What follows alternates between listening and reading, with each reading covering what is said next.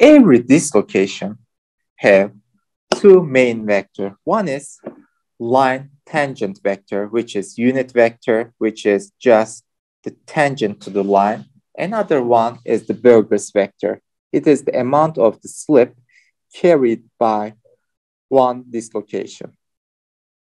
Burgers vector is same all along the dislocation.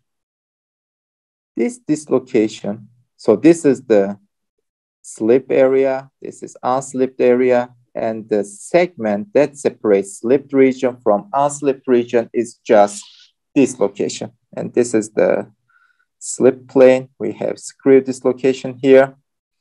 B is always same all along, along the dislocation. This is very important, guys. B is always same, but the tangent vector could be different. So we have different tangent vector, which is just normal to the dislocation line. So if Burgers vector is parallel to tangent vector, we have a screw dislocation. Here you see the Burgers vector is in this direction and the tangent vector is also in this direction. So it is screw dislocation. But here they are perpendicular with each other. Then we have an edge dislocation. And the dislocation normal plane can be calculated once we cross product the dislocation Burgers vector to the tangent vector or the line vector.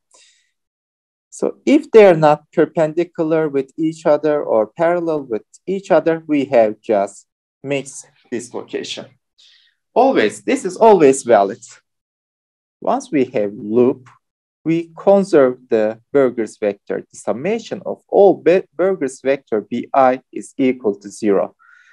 So this is first Burgers vector of an dislocation. It branches.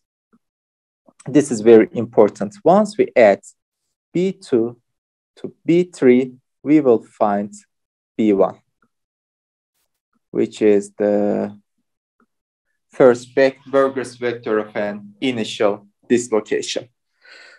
And dislocations glide on slip planes defined by their geometry and A and dislocation can leave their glide plane depending on their character. So it can go to this uh, for this glide plane or this glide plane.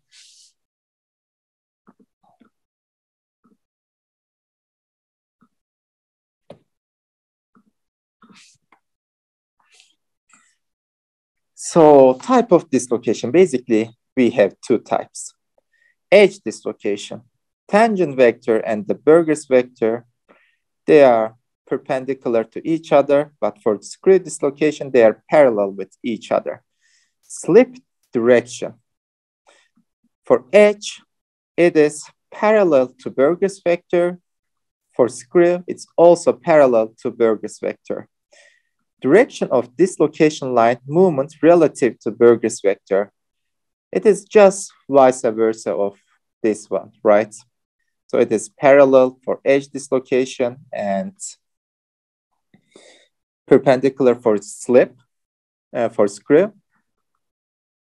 How can we leave the slip plane?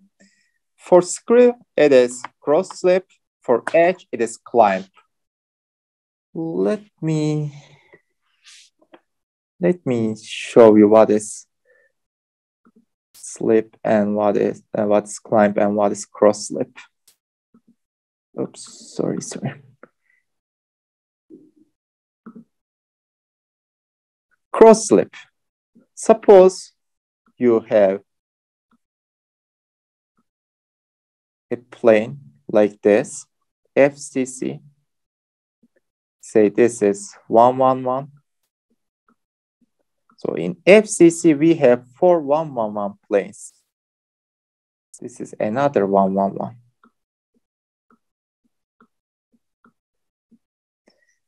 If your dislocation goes from this plane to this plane, we call it cross slip.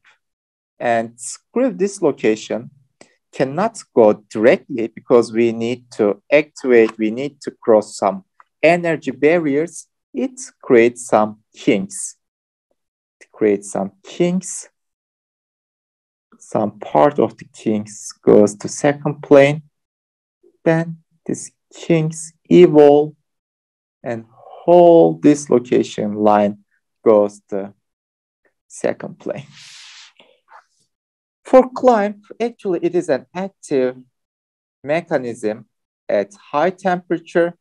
Suppose we have a dislocation here and we have vacancies of atoms, bunch of vacancy, bunch of vacancy.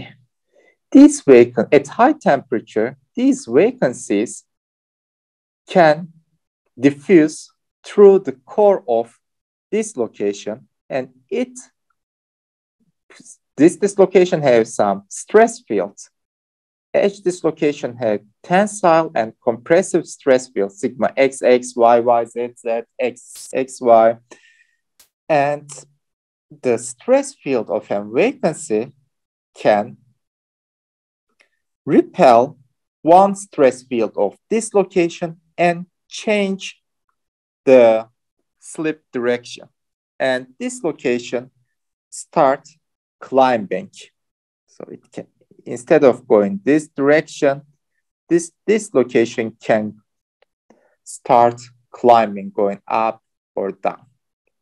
This is another way, this is another process by which dislocation can leave the slip plane. All right, guys, I'll just stop at this point. Do you guys have any question?